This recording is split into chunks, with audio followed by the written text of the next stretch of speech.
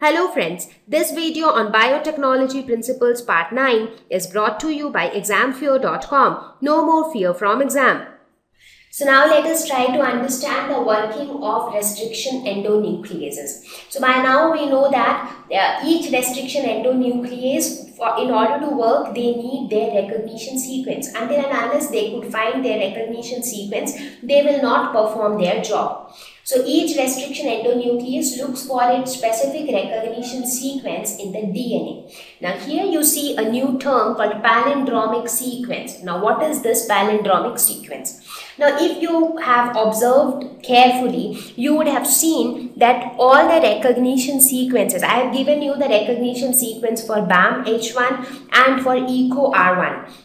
So for both these enzymes, if you observe the recognition sequence once again, you will see that those sequences have a special feature. That is, they are the same from when you read them from both the ends. So that kind of sequence is called palindromic sequence. So first let us understand what is a palindrome.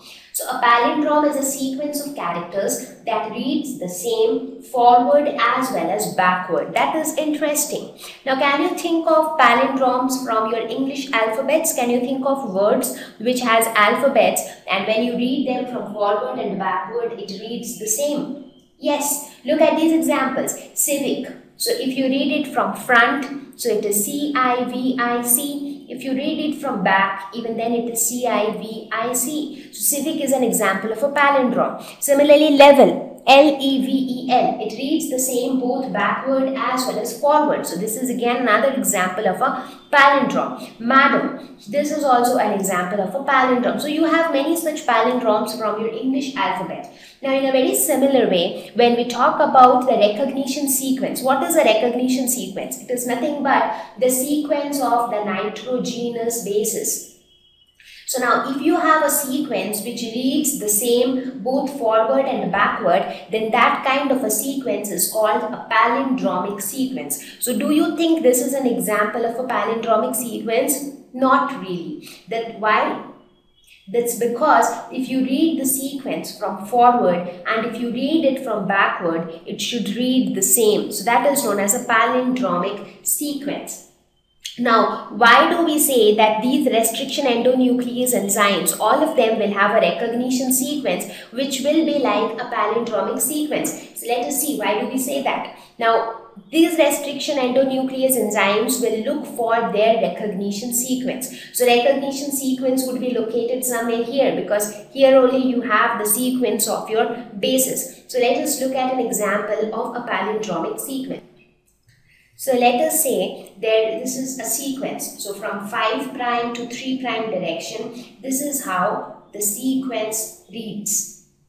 So this is from 5 prime to 3 prime. So what would be there from 3 prime to 5 prime direction? It would be somewhat like this. So now, do you think that this is an example of a palindromic sequence? Now, what are the two ways in which you can read? You can either read it from 5 prime to 3 prime direction or you can read it from 3 prime to 5 prime direction. Right? So these are the two ways by which you can read it. So one is from this direction and the other one is from this direction. Now when you read it from this direction, it reads G-A-A-T-T-C right? And when you read it from the opposite direction it reads what does it read? It again reads the same G A A T T C. So if you see that in the first case you are reading it from 5 prime to 3 prime direction right? Whereas in the second case you are actually reading it the 3 prime to 5 prime sequence. So when you read it from the backward direction, you are again reading the same thing. So this is an example of a palindromic sequence. And you would have noticed that all these restriction endonuclease enzymes, they look for such sequences where it reads the same from both the direction. Now let me, so this, this example is an example of a palindromic sequence. Now, many of you might have a doubt that if this is the case, now since the two strands are always complementary, so that means that every time it should they should be palindromic because if 5 prime 3 prime and 3 prime 5 prime they are complementary to each other there are chances that they will be palindromic. Well it is not really like that. Not always the sequences are palindromic. Now i will give you an example of a sequence which is not palindromic so let us suppose if I take an example from 5 prime to 3 prime it reads somewhat like this G A T C T T T. So this is how it reads from 5 prime to 3 prime direction. So what would be the sequence from 3 prime to 5 prime? It would be G C T A G A A A. So this is how it would be from 3 prime to 5 prime. So here if you see from 5 prime to 3 prime, how do you read it? That is in this direction. You read it as G, A, T, C, T, T, T. Right? Now you try to read it in this direction. So in this direction, this one will read A, A, A, G, T, G, A, T, C. So both of them are not same. So this is not palindromic. So this sequence is not an example of a palindromic sequence. So whenever we talk about restriction endonuclease, the, the recognition sequence of all restriction endonuclease enzymes are palindromic sequences. So every time a, a, sequence acts as a recognition sequence for any enzyme, that sequence has to be palindromic. And now you understand what is palindrome. The word palindrome means something which reads the same both forward and backward. When we talk about a palindromic sequence in terms of the DNA sequence, it means that if you read the sequence from 5 prime to 3 prime direction in the forward direction, it reads the same thing as it reads when you read the 3 prime 5 prime sequence in the backward direction. So here you see 5 prime 3 prime is being read in the forward direction and 3 prime 5 prime is being read in the backward direction. So both should read the same. Then we say that the sequence is a palindromic sequence and all recognition sequences for restriction endonucleases are palindromic sequences. Now this is very important and please remember this.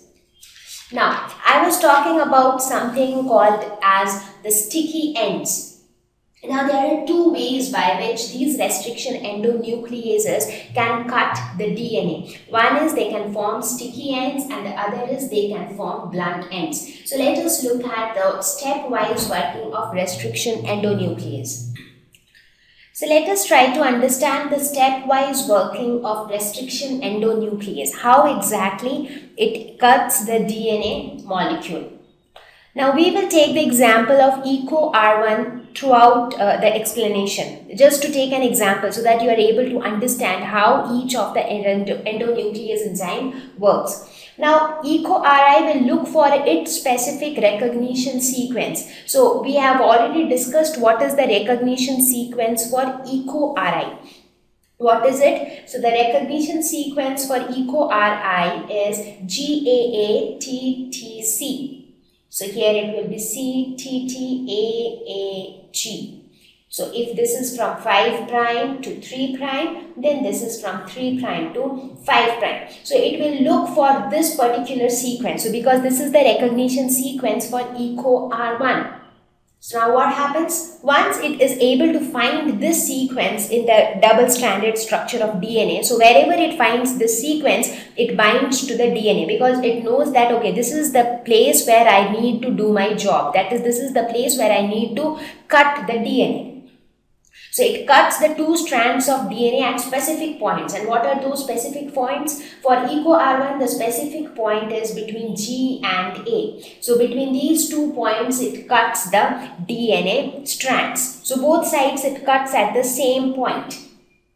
Now it cut between the same bases on each strand and what are those bases as we saw those two bases are G and A. So it will cut between G and A on the first strand it will cut between G and A on the second strand as well. Now, what will happen? As a result, DNA pieces are formed with single-stranded ends, that is sticky ends. Now, what are we left with? With this, we will have one part of DNA which will look like this and we will have another part of DNA which will look like this. So, if you look at this part, this part is single-stranded because it doesn't have its complementary base here. Similarly, this strand is also, this part is also single-stranded because there is no corresponding base for them. So therefore, these are known as the sticky ends. Now, why are they called sticky ends? Because the single-stranded ends are ready to form hydrogen bonds with their complementary cut counterparts. Now, since they are very much eager to uh, stick with somebody, since they are very much eager to combine or to form hydrogen bond with their complementary counterparts, that is why they are called sticky ends. So let us have a look. This is how it happens. Let us suppose this was the DNA molecule. So the EcoRI will keep on searching for its recognition sequence. Now let us suppose it found its recognition sequence somewhere in this region. So this is the enzyme. So EcoRI will connect at this point that is it will bind to the DNA at this point and then what will it do then it will cut the bases at the specific points like this so here you can see these region are known as the sticky ends now please note that not all